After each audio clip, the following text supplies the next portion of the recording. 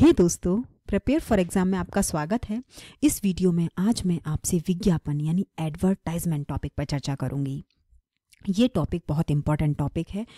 TGT PGT NET सभी exams में विज्ञापन से रिलेटेड क्वेश्चंस पूछे जाते हैं। मैंने 2013 का टीजीटी का एग्ज़ाम पे, एग्ज़ाम पेपर देखा था एग्ज़ाम पेपर उसमें विज्ञापन से रिलेटेड क्वेश्चंस पूछे गए थे। तो ये विज्ञापन चैप्टर बहुत इंटरेस्टिंग है, लेकिन थोड़ा लेंदी है, थोड़ा ट्रिकी भी है। थोड़ा कम इंटरेस्टिंग है, लेकिन कोशिश की है मैंने थोड़ा इंटरेस्टिंग तरीके से बनाकर आपके सामने पेश करने की। तो प्लीज़ मुझे इसके बारे में फीडबैक ज़रूर दें। तो स्टार्ट करते हैं विज्ञापन। विज्ञापन शब्द, अंग्रेज़ी के शब्द एडवर्टाइजमेंट का हिंदी फॉर्म है। हिंदी में इसे विज्ञापन कहते हैं और अंग्रेज़ी में एडवर्टाइजमेंट कहते हैं। एडवर्टाइजमेंट लैटिन भाषा के शब्द एडवर्टर से लिया गया है, जिसका अर्थ होता है to turn to that means किसी की ओर मुड़ना या किसी की ओर आकर्षित होना। और ये हिंदी का विज्ञापन शब्द, ये भी दो शब्दों से मिलकर बना है, वी और ज्ञापन। जिसके दो अर्थ हमारे सामने आते हैं।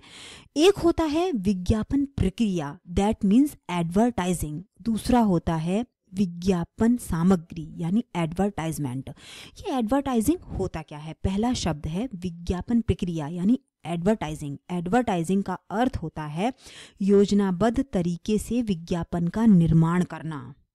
उसमें जो भी चीज़ें प्रयोग होती हैं, उसका प्रयोग करना और एक योजनाबद्ध तरीके से विज्ञापन का निर्माण करना एडवर्टाइजिंग के अंतर्गत आता है। दूसरा शब्द आता है हमारा एडवर्टाइजमेंट एडवर्टाइजिंग एडवर्टाइजमेंट का अर्थ होता है उस विज्ञापन को उपभोक्ता तक कंज्यूमर तक पहुंचाना एडवर्टाइजमेंट के अंतर्गत आता है। तो ये था हमारा एडवर्टाइजिंग और एडवर्टाइजमेंट का अर्थ। आगे चलते हैं, विज्ञापन क्या है? विज्ञापन हमें सूचना प्रदान करता है। वो हमें ये इन्फॉर्म करता है कि हमें ये चीज़ बाय करनी चाहिए, ये चीज़ नहीं बाय करनी चाहिए, ये चीज़ हमारे लिए यूज़फुल है, ये चीज़ नहीं है। मतलब हमें डिसीज़न लेने में हेल्प करता है। जो हमें डिसीज़न लेने में हमारी हेल्प करता है, उसे सूचित क्रय निर्णय यानी इन्फॉर्म्ड बाइंग डिसीज़न कहते हैं। विश्व का पहला विज्ञापन कहते हैं। विश्व का पहला विज्ञापन भारत में निर्मित हुआ था। इसके बारे में मुझे एक स्टोरी याद आती है और उसी स्टोरी को मैं आपको सुनाती हूँ। It is just like a story ये आज से लगभग डेढ़ हज़ार वर्ष पहले की बात है, जब भारतीय व्यापारियों ने रेशमी वस्त्र बुना था और उस रेशमी वस्त्र को व्यापार संघ के लोगों ने मिलकर एमपी में एमपी में जो ग्वालियर क्षेत्र है, वहाँ एक दसपुर स्थान है। उस दसपुर स्थान का पहले कोई प्रमाण नहीं मिला था। ये घटन ये बात है, जब गुप्त काल में दशपुर में कुमार गुप्त का राज्य था, ये तब की बात है। जब कुमारगुप्त प्रथम और द्वितीय का राज्य हुआ करता था दशपुर में, और उन्होंने दशपुर एक छोटी सी जगह थी, जब दशपुर में उन्होंने अपना प्रतिनिधि रख दिया था, जिसका नाम था बंधु वर्मा। बंधु वर्मा दशपुर के प्रतिनिधि थी, क्योंकि राज्य बहुत बड़े होते थे तो उसमें प्रतिनिधि रख रख कर ही राज्य को चलाया जाता था। तो दशपुर का राज्य का प्रतिनिधि थे बंधु वर्मा। एक्चुअली इसके बारे में हमें कैसे पता चला? इसके बारे में हमें बंधु वर्मा इन, इनका लेख प्राप्त हुआ था हमें मंदसौर से।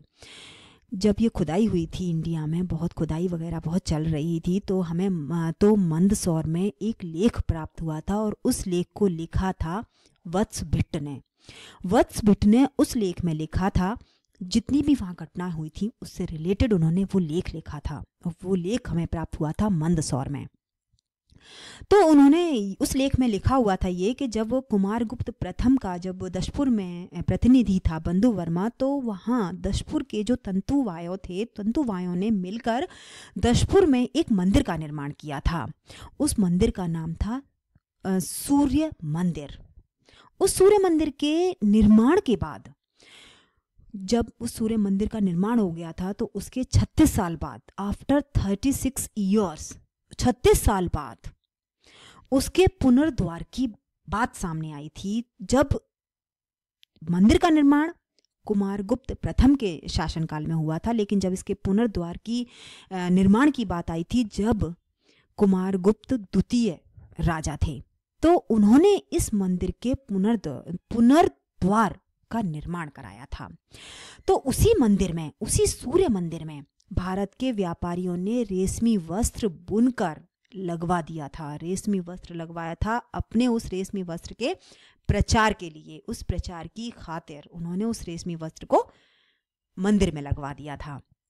तो ऐसा नहीं है कि मेरा कहने का, इस स्टोरी को बताने का अर्थ सिर्फ़ इतना था कि विज्ञापन तो बहुत पुराने ज़माने से चले आ रहे हैं, जबकि हमें पता ही नहीं था। विज्ञापन तो सिंधु सभ्यता काल में भी चलाए गए थे, जब सिक्कों के ऊपर लिपियाँ लिखी जाती थीं, अशोक के काल में भी चलाए गए थे, जब उनके जो हमें जितने भी हमें उनके वहाँ मिले हैं, उनके लिपि पढ़ने में, प्रिंसेप ने उनकी लिपि पढ़ी थी। जब हमें सफलता थोड़ी प्राप्त हुई है। तो ऐसा नहीं है, विज्ञापन तो बहुत पहले से चले आ रहे हैं, लेकिन इनके बारे में, असल में हमें कब जानकारी प्राप्त हुई, इसके बारे में आज हम चर्चा करेंगे। तो विज्ञापन वह व्यवसायिक शक्ति है जिसके अंतर्गत मुद्रित शब्दों द्वारा बिक्री बढ़ाने में हेल्प मिलती है। उसे हम कहते हैं विज्ञापन। एक विज्ञापन है वो विज्ञापन हाथ से लिखा हुआ विज्ञापन। वे ब्रिटिश संग्रहालय लंदन में हमें प्राप्त हुआ था। तीन हज़ार वर्ष पुराना वो विज्ञापन है जो हाथ से कागज़ पर लिखा हुआ है। तो ऐसा नहीं है, विज्ञापन तो हमें बहुत प्राप्त हुए हैं, लेकिन ये विज्ञापन कब हमारे इतिहास में कब जानकारी इसके बारे में असल हमें प्राप्त हुई थी, इसके बारे में हम बात करते हैं। आगे बढ़ते हैं। विज्ञापन एक्चुअली ये 1440 की बात है। 1440 में जब मूवेबल टाइप यानी गतिशील अक्षरों का यानी प्रिंटर का जब आविष्कार हो गया था जोहिन गुटेनबर्ग ने कर, किया था, उसके बाद प्रिंटिंग इजी बन गई थी, थोड़ी इजी हो गई थी। तो उसके बाद 1477 में विलियम कैक्सटोन आए थे। कैक्सटोनन ने इंग्लिश में पहला विज्ञापन, यानी अंग्रेज़ी भाषा में पहला विज्ञापन प्रकाशित किया था अमेरिका में। उन्होंने इस विज्ञापन को एक पर्चे के रूप में, पर्चे की फॉर्म में, पोस्टर की फॉर्म में प्रकाशित किया था। इसके बाद 1840 में 1840-41 के करीब की बात है वाल्मी पामार आए थे। वाल्मी पामार ने फिलाडेल्विया में विज्ञापन एजेंसी लगाई थी। वाल्मी पामार जो थे, एक स्पेस ब्रोकर के रूप में काम करते थे। स्पेस ब्रोकर से मतलब होता है जो पत्र पत्रिकाओं, समाचार पत्र में स्थान दिलाने का जो काम करता है, उसको हम बोलते हैं स्पेस ब्रोकर। तो स्पेस ब्रोकर के रूप में ये काम करते थे। तो उन्होंने एक एजेंसी खोली थी एजेंसी खोली थी विज्ञापन की, जिसे विज्ञापन एज पहली विज्ञापन एजेंसी नाम दिया गया। यह एजेंसी अपने ग्राहकों के लिए और ग्राहकों के द्वारा ही जो उत्पाद निर्मित होते थे, उन, उनको और अपने उन वो उनको ग्राहक बोलते थे जो उनसे स्पेस मांगने आते थे पत्र पत्रिकाओं में न्यूज़पेपर में, कि हमें कोई कॉलम दिला दीजिए जिससे हम विज्ञापन प्रदर्शित कर सकें, प्रकाशित कर सकें।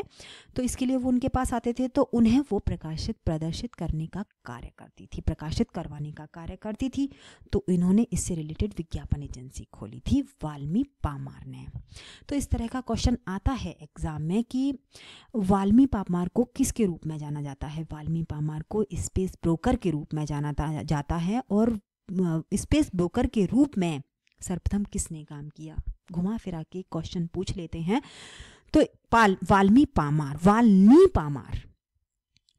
तो सबसे पहले मैं आपको बताती हूँ कि इन विज्ञापन का उद्देश्य क्या होता है। इन विज्ञापन का उद्देश्य होता है कि उपभोक्ताओं को उपभोक्ताओं को कंज्यूमर को शिक्षित करा सकें विक्रेता की मदद कर सकें। या इस जो कंपटीशन हमारा बहुत ज़्यादा समाज में चल गया है, इस कंपटीशन को समाप्त कर उपभोक्ता को अपनी ओर आकर्षित कर सकें, व्यापारियों को अपनी ओर आकर्षित कर सकें। और सबसे अधिक बड़ी बात यह है कि ये उत्पादक और उपभोक्ता दोनों के बीच संबंध बनाना होता है, बहुत अच्छे संबंध बनाना होता है।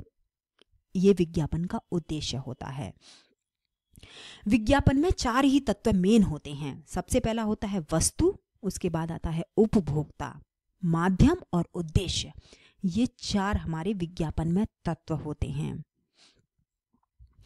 तो ये विज्ञापन, जब हमारा ये पहला विज्ञापन था चौदह में जब विदेश में, यानी अमेरिका में पहला विज्ञापन प्रदर्शित किया गया था चौदह में विलियम कैक्सटोनन ने, उसके बाद जो विज्ञापन, उसके बाद विज्ञापन का हमें कोई खास चर्चा में विज्ञापन नहीं आया था, लेकिन उसके बाद जो विज्ञापन चर्चा में आया था, वो था सोलह में, यानी 1652 में। पहली बार विज्ञापन साप्ताहिक समाचार पत्र में प्रकाशित हुए थे। जिसमें कॉफ़ी का विज्ञापन प्रकाशित किया था। उसके बाद चॉकलेट का आया था चौदह, सोलह सौ सत्तावन में, यानी 1657 में। और उसके एक साल बाद चाय का विज्ञापन प्रकाशित किया था 1658 में। ऐसा नहीं है, विज्ञापन उससे पहले स्टार्ट ही नहीं हुए थे, उससे पहले भी विज्ञापन स्टार्ट हुए थे। लेकिन लेकिन जब ये विज्ञापन एजेंसी खोल ली थी वालनी पामार ने तो उसके बाद थोड़ा रेस्ट रेस्ट पोजीशन में आ गए थे। थोड़ा सहारा मिल गया था लोगों को विज्ञापन अपने प्रकाशित कराने के लिए।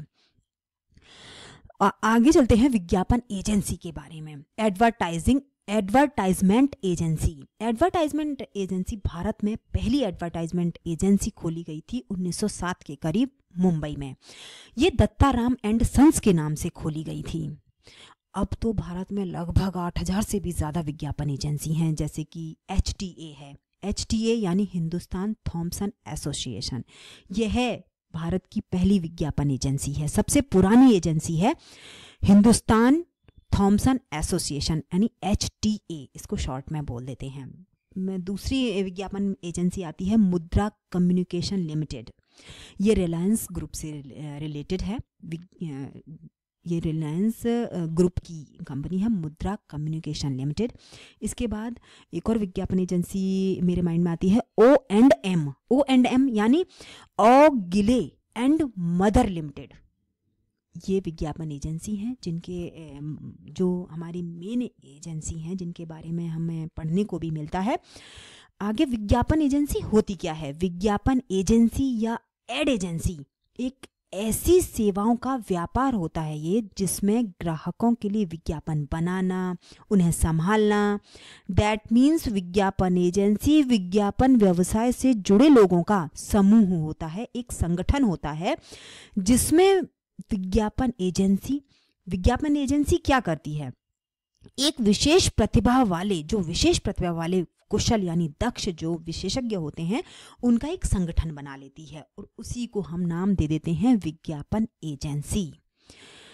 विज्ञापन एजेंसी विज्ञापन और वहीं हम विज्ञापन छपवाने जाते हैं। विज्ञापन, जब हमें किसी किसी चीज़ का विज्ञापन प्रकाशित कराना होता है तो हमें एडवर्टाइजिंग एजेंटी एडवर्टाइजमेंट एजेंसी में जाना होता है, विज्ञापन एजेंसी में जाना होता है। विज्ञापन का उद्देश्य के बारे में बात करते हैं। विज्ञापन का सॉरी सबसे पहले मुझे इसी से एक याद आता है कि मिलायस की पेंटिंग थी जिसका प्रयोग किया गया था पोस्टर के रूप में मिलायस की पेंटिंग को, पोस्टर के रूप में प्रयोग किया गया था अठारह में। इस तरह का क्वेश्चन आया था एक बार एग्ज़ाम में कि सबसे पहले किसकी पेंटिंग को पोस्टर के रूप में प्रयोग किया गया? तो मिलायस की पेंटिंग थी, जिसको पोस्टर के रूप में प्रयोग किया गया। अभी मैं आपसे मुद्रण के बारे में बात कर रही थी, जब ये मुद्रण 1440 में जब जोहिन गुटेनबर्ग ने मुद्रण स्टार्ट कर दिया था तो इजी हो गया था किसी चीज़ को प्रिंट करना। तो ईसाई मिशनरियों ने, यानी ईसाई जो मिशनरी थे, ईसाई अपने धर्म के प्रचार के लिए भारत में गोवा में पहली मुद्रण मशीन लगाई थी उन्होंने पंद्रह में, ईसाई मिशनरियों ने अपने धर्म के प्रचार के लिए। वो भारत में अपनी अपनी गोवा में पहली मुद्रण मशीन लगाई। अब इस तरह का क्वेश्चन आता है एग्ज़ाम में कि पहली मुद्रण मशीन कहाँ लगाई गई, किससे रिलेटेड थी? तो गोवा में लगाई गई थी और ईसाई धर्म से रिलेटेड थी। ईसाई मिशनरियों ने लगाई थी अपने धर्म के प्रचार के लिए पंद्रह में। तो ये थी हमारी विज्ञापन एजेंसी अब हम आगे चलते हैं विज्ञापन के उद्देश्य। तो दोस्तों, मैं नेक्स्ट वीडियो में आपसे विज्ञापन विज्ञापन के उद्देश्य के बारे में चर्चा करूँगी। And thank you for watching my video